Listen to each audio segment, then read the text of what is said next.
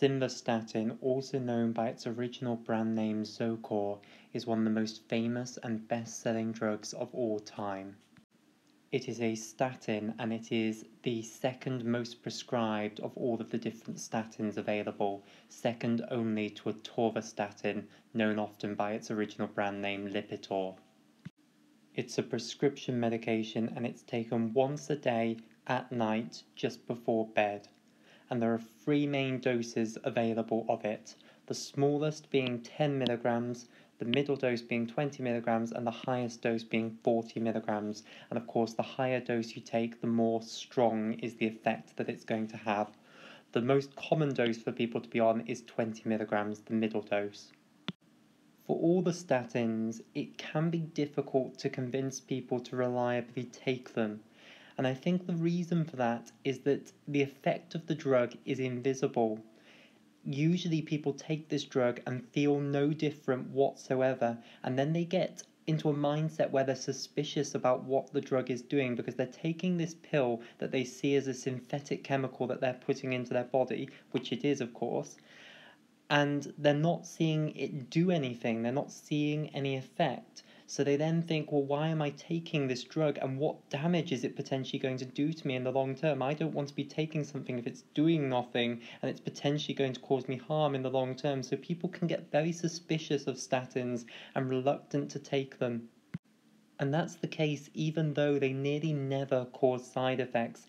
In particular, if you're taking the normal dose of simvastatin, the 20 milligrams a day, it's very unlikely that that's going to cause any side effects whatsoever. As I said earlier, usually people take these drugs and feel no different whatsoever.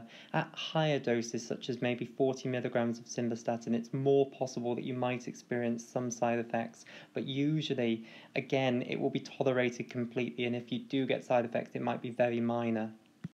So I think the suspicion around statins does come from the fact that the effect of them is invisible.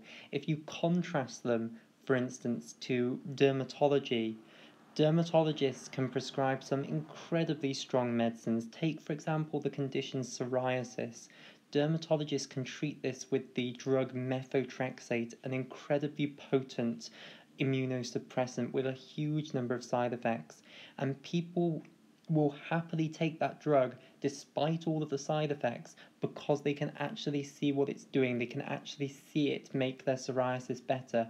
Meanwhile, with statins, drugs that nearly always have no side effects, because the effect is invisible, patients can't see what it's doing for them, what good it's doing for them, they become suspicious and reluctant to take it. So, what do statins do then? Well, they are the cleaners of the arteries. They treat a condition called atherosclerosis, which is a vascular condition that affects the arteries within the body, and it's a condition that will affect all of us at some point in our life to differing degrees. Now, people who are worse affected by this condition are people of higher BMIs, people who smoke are also more affected by this condition, and people with a bad family history for this happening, they are more likely to get this worse as well. So I've drawn a picture here that illustrates the basics of what happens to an artery undergoing atherosclerosis. So this is a nice healthy artery. This is drawn in cross section. So this is the lumen of the artery where the blood flows, and then this is the wall of the artery. So this is representing a healthy artery. In atherosclerosis, what happens is the wall gets thicker and the lumen gets narrower because fatty cholesterol deposits have built up in the inner part of the wall of the artery. This process is known as atherosclerosis, and this is a process that takes years and years to happen. So, when we're children or teenagers, our arteries look like this. As we get older in life, our arteries begin to look more and more like this and the speed at which these fatty deposits accumulate depend on your risk factors for atherosclerosis. So if you're overweight, if you smoke, if you've got a strong family history for this happening, atherosclerosis will happen quicker in you and your arteries will get narrower at a greater rate. So this process can happen all over the body and you can see that it's going to narrow the lumen of the artery and reduce the blood flow to the part of tissue that is supplied by that artery.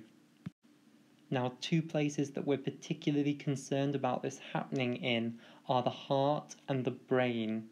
And when the arteries that supply the heart are being narrowed due to atherosclerosis, we call that condition coronary artery disease or CAD for short. And when the arteries that supply the brain with blood are being narrowed due to atherosclerosis, we call that cerebrovascular disease or CVD for short. And you can imagine that this chronically worsening low perfusion to the heart and the brain is not going to be good for the function of either of these two vital organs. Now, the story gets even worse because these diseased arteries that are affected by atherosclerosis are at risk of a process called thrombosis, which is where a blood clot is formed within a blood vessel. Now, remember, the blood is supposed to clot only when a blood vessel is injured and there is a hole in the wall of the blood vessel. In that case, the blood is supposed to form a solid clot in order to plug the hole in the wall of the blood vessel. When the blood clots inside a perfectly intact blood vessel, that is a process that we call thrombosis. And when it occurs inside an artery, we call that arterial thrombosis. When it occurs inside a vein, we call it venous thrombosis. Now, arteries that are affected by atherosclerosis are at risk of arterial thrombosis. I've drawn this on the picture over here. So here is our atherosclerosis affected artery and this green thing that I've drawn inside the lumen of the artery. This is a thrombus, which is the name given to a blood clot that is formed inside a perfectly intact blood vessel. Now, arterial thrombosis is a disaster because, of course, the thrombus can completely occlude the lumen of the artery and therefore completely cut off blood flow to the portion of tissue that is supplied by that artery. If that blood clot is not broken down quickly and blood flow is not restored to that downstream portion of tissue, that portion of tissue will then die due to lack of blood flow, a process called infarction. So if you have coronary artery disease or cerebrovascular disease, you are then at risk of having arterial thrombosis events occurring within your heart and your brain respectively, and therefore at risk of parts of your heart or your brain dying due to lack of blood supply. In the heart, when this happens, we call it a heart attack. In the brain, when this happens, we call it a stroke. So overall, atherosclerosis, I hope I've convinced you, is a very bad thing. This is the invisible condition that statins are treating. If you take a statin every day, it will at the very least slow the atherosclerosis progression down, if not stop it completely, and in many people it will even start to reverse it, so the atherosclerotic plaques inside the walls of your arteries will get smaller, this is why I call the statins the cleaners of the arteries. And the condition isn't actually that invisible, you just can't see the atherosclerosis from looking at the outside of a person. However, when you do uh, scan someone's body, if you, for instance, do a CT scan of someone's thorax, for instance, you can get brilliant pictures of the aorta, which is the huge blood vessel that comes straight out of the heart, the huge artery straight out of the left ventricle. And you can see the atherosclerosis on these scans. So it isn't an invisible condition, it's just not visible from the outside, but you can see it with mod- modern medical imaging. So, overall, they are wonderful drugs they nearly always are completely tolerated with no side effects and they are cleaning your arteries. So if you take a statin, please do think that of it as doing that, that it is cleaning your arteries, stopping atherosclerosis from getting worse, and maybe even reversing some of it and increasing the blood flow to all the tissues of your body by doing so, in particular your heart and your brain. So just before we finish, let's finally discuss the main side effect that people can experience with statins, which is muscle pain. So statins, unfortunately, in some people, even when taken at the normal dose, can irritate the muscle tissues of the body and lead to muscle aches, a condition that we call myalgia. These muscle aches can occur all over the body. They're nearly always not dangerous, but they can be very painful, and therefore they can be a reason that people will have to stop taking statins. The situation where the muscular effects of statins can become dangerous is in overdose. Now, overdose is nearly always accidental and comes from drug interactions rather than someone deliberately trying to overdose on their statin. The way this occurs is that statins are broken down and inactivated in the liver by an enzyme called CYP3A4. Now, lots of drugs can inhibit this enzyme, and if you take those drugs at the same time as taking a statin, such as simvastatin, then the breakdown of the statin will be inhibited and the levels of it will go up in the blood. And then, when those levels go up, that is when the statins can actually irritate the muscle tissue to the point that it's dangerous and they can actually cause the muscle tissue to break down, a condition called rhabdomyolysis. Now, I want to stress in normal doses of statins, they nearly never cause irritation of the muscle tissue bad enough to actually cause it to break down, to actually result in rhabdomyolysis. Instead, they just cause harmless muscle aches. It's only in the overdose scenario that it can lead to this dangerous consequence. Remember the very famous quote from Paracelsus the dose makes the poison, where he's saying that all drugs are poisonous if you take them at a big enough dose.